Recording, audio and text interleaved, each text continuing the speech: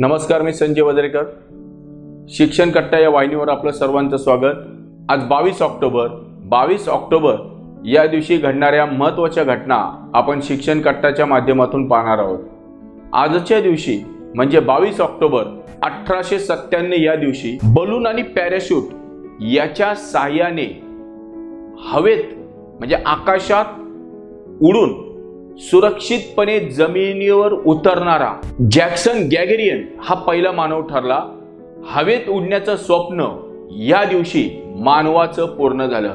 याच दिवशी अठराशे पाच साली विलियम रोवन हॅमिल्टन या आयरिश गणितज्ञाचा जन्म झाला. याच दिवशी अठराशे पंचेचाळीस साली मुंबईचा सिंह अशी ओळख असणाऱ्या फिरोजशाह मेहता जे मवाळ नेते होते आणि स्वातंत्र्य चळवळीतल्या पहिल्या पिढीत त्यांचं यो- मोठं योगदान होतं.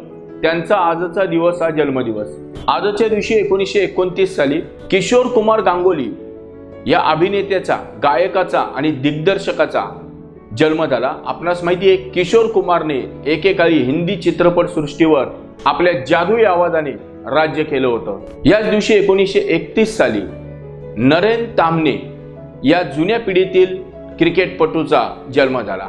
याच दिवशी म्हणजे बावीस ऑक्टोबर एकोणीसशे बासष्ट या दिवशी भाकरा नांगल हे जे काय आपलं महाकाय असं मोठं धरण होतं या धरणाचं पंडित नेहरूंच्या हस्ते राष्ट्राला अर्पण करण्यात आलं. याच दिवशी एकोणीसशे अठ्ठ्याहत्तर साली मराठी लघुनिबंधाचे आद्य प्रवर्तक कादंबरीकार नाटककार लेखक पत्रकार ना सी फडके यांचं आजच्या दिवशी निधन झालं. याच दिवशी दोन हजार पंधरा साली केंद्र सरकारने असा निर्णय घेतला की कामगारांच्या बोनसची मर्यादा किमान सात हजार असावी. तर या होत्या आजच्या महत्त्वाच्या राष्ट्रीय आंतरराष्ट्रीय घटना. आता आपण वळणार आहोत एका मुख्य घटनेकडे. आज बावीस ऑक्टोबर बावीस ऑक्टोबर सतराशे चौसष्ट. या दिवशी इंग्रजांनी एक मोठा इतिहास घडवला. एकाच वेळेस तीन शक्तींचा पराभव करून इंग्रजांनी भारतात आपण एक नवी राजकीय सत्ता उदयाला आलोय हे दाखवून दिलं. आपणा सर्वांना माहिती आहे बावीस जून सतराशे सत्तावन्नला इंग्रजांनी प्लासी येथली लढाईत देशी एतद्देशीय सत्तांचा म्हणजे बंगालच्या नबाबाचा पराभव केला.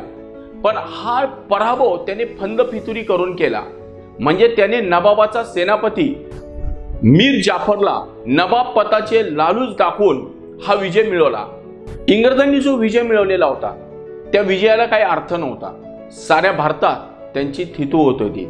त्यामुळे इंग्रज अशा एका संधीची वाट पाहत होते की ज्याने आपल्यावर जो काही कलंक लागला होता फंद फितुरीचा तो मिटून टाकला जाईल. आणि ती संधी त्यांना सतराशे चौसष्ट साली मिळाली. मी तुम्हाला सांगितलं सतराशे सत्तावन्नला जेव्हा प्लासी येथे त्यांनी विजय मिळवला तेव्हा मीर जाफरला त्यांनी नबाबपदी केलं. परंतु त्याला लक्षात आले की आपण नामधारी नबाब होत. सगळे अधिकार इंग्रजांकडे होते. संपन्न असा बंगाल इंग्रजांनी काही वर्षात कंगाल करून टाकला. प्रचंड लूट त्यांनी बंगालची केली आणि बंगाल भिकेला लावला. याला मीर जाफरने विरोध करताच इंग्रजांनी त्याला पदच्युत करून त्याचा जावई मीर कासिम याला नबाबपदी नेमलं. सुदैवानं मीर कासिम उत्तम प्रशासक होता. आणि तो जेव्हा सत्तेवर आला तेव्हा त्यांनी इंग्रजांना एकदाच तुम्हाला काय काय पाहिजे त्याची यादी मला द्या मी ते तुम्हाला देऊन टाकतो. एकोणतीस लाख रुपये त्या काळातली त्यांनी इंग्रजांना खंडणी रूपात दिल्यानंतर इंग्रजांवरती त्यांनी चक्क नऊ टक्के जकात लादली. इंग्रजांना या गोष्टीचा संताप आला. त्यांनी नवाबाला असे सांगितले की आम्हाला फक्त अडीच टक्के जकात आणि भारतीय व्यापाऱ्यांना पंचवीस ते तीस टक्के जकात तू लाव. अर्थात इंग्रजांची ही मागणी म्हणजे बंगालला अधिक कंगाल करण्याची ही योजना. त्यामुळे नबाबाने याला विरोध केला. मग नबाबाने एक खेळी खेळली. त्याने इंग्रजांनी देशी व्यापारी म्हणजे भारतीय व्यापारी यांना सरसकट जकात माफी दिली. त्यामुळे मोठी खळबळ उडाली. हा नबाब आपल्या हातलं कतपुतलीचं भावलं बनणार नाही हे लक्षात येतात नबाबाने याला कैदेत टाकण्याचा घाट घालून पुन्हा मीर जाफर जो आपल्या तंत्राने चालत असतो त्याला नबाब करण्याचे ठरवले. ही गोष्ट मीर कासिमला कळताच त्याने पळ काढला आणि थेट अयोध्येचा नवाब शुजा उद्दौलाकडे गेला. त्याने शुजा उद्दोलाला इंग्रजांच्या भावी आक्रमणाची कल्पना दिली. सुजा उद्दौला दिल्लीचा बादशाह शाह आलमकडे गेला. तिघांनी मिळून इंग्रजांचा कायमचा काटा काढण्याचे ठरविले.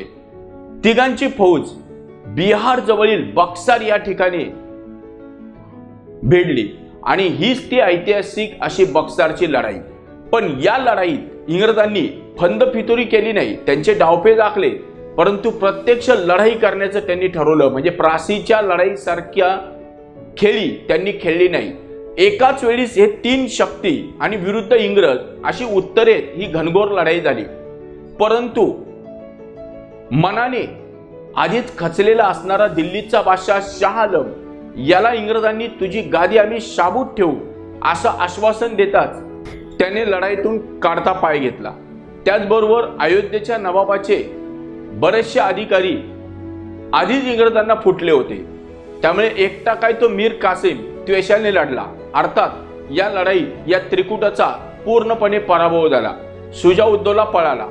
पुढे काही दिवसांनी तो इंग्रजांच्या हातूनच मारला गेला. दिल्लीचा बादशाह शाह आलम नामदारी का होईना बादशाह राहिला आणि मीर कासिमची मात्र वाताहत झाली. परांगत अवस्थेत तो मेला.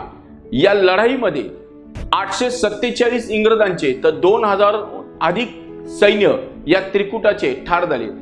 जवळजवळ पाच ते सहा तास ही घनघोर लढाई झाली. सर्वात महत्वाचं म्हणजे या लढाईनंतर खरं तर उत्तर हिंदुस्थानात इंग्रज आपल्या ताब्यात घेऊ शकले असते परंतु त्यांनी शहाणपण दाखवलं. दिल्लीच्या बादशापदी पुन्हा एकदा शाह आलमलाच नेमून त्याला वार्षिक सव्वीस लाख रुपयाची पेन्शन चालू केली आणि त्याचबरोबर बादशाहकडून बिहार बंगाल ओडिसा आणि परिसरातील सगळे महसूल अधिकार त्यांनी मिळवले. आणि अशा रीतीने सन सतराशे चौसष्टपासून आणि आजचा दिवस बावीस ऑक्टोबर या काळापासून खऱ्या अर्थाने पूर्ण उत्तर हिंदुस्थानावर इंग्रजांचा अंमल सुरू झाला. आणि यानंतर इंग्रजांनी दक्षिणेकडे आपलं लक्ष वळवलं. जय हिंद जय महाराष्ट्र.